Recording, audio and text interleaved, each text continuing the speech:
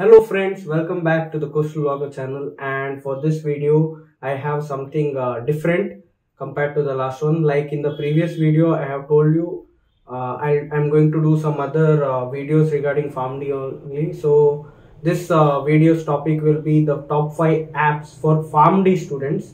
So I have seen there are a lot of recommendations uh, regarding your uh, fourth PharmD books also. So that probably I'll do it in my next video and uh, coming up to this topic that is top 5 uh, pharm d apps not pharmacy apps pharm d particularly.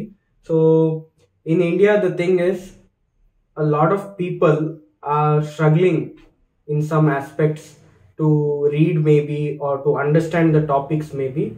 So what i did is i have mixed up some uh, notes giving uh, apps along with uh, some uh, therapeutically important apps also. So please please please uh, continue seeing this video and please don't forget to subscribe this channel.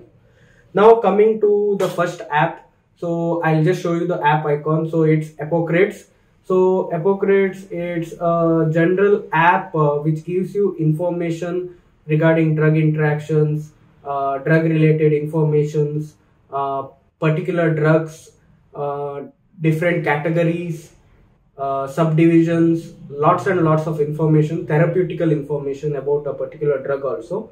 So why I chose this particular app at the beginning is this is a newly trending app uh, compared to some other apps. This is uh, more uh, popular these days. A lot of people uh, are using this app for drug interactions and ADR knowing reasons. And when you come to fourth, fifth, and sixth PharmD, these apps become very very important. So Epocrates is a very good app. You can go for it. Coming to the second app that is slideshare. So slideshare the thing is this is particularly for notes. So if you put uh, like if you go to the slideshare app and if you put a particular uh, chapter you will get notes on that. So these notes will not be particular to one particular university it is a random notes general notes. So this notes what it will help you is to understand the concept. Now there are lots and lots of apps but this particular app you get ppt presentations which you can go through each and every time. You can uh, try writing some of the answers from that app also or uh, you can generally uh, use it to understand. So in some universities maybe the teachers or the lecturers may force you to write their particular answer. Nothing like the, that is uh, compulsory, obviously. You can slightly change it a bit because this is uh, not some kind of uh, very high board exam or standard exam where the definition must be exact. So I guess SlideShare uh, uh, app is really, really helpful in case uh, you go through it once. Now coming to the third app that is Pharma Dost.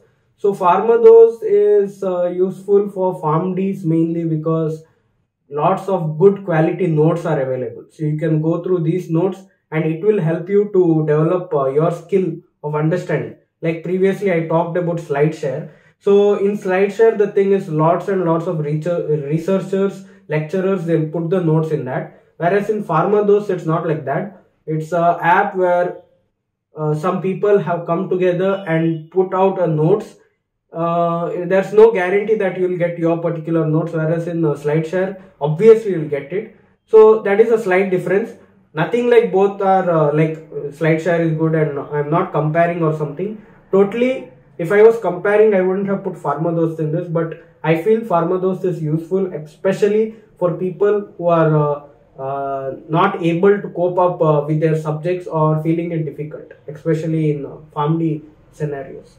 Now coming to the fourth app that is Medscape. So Medscape is uh, another app which is famous, very famous from a long time.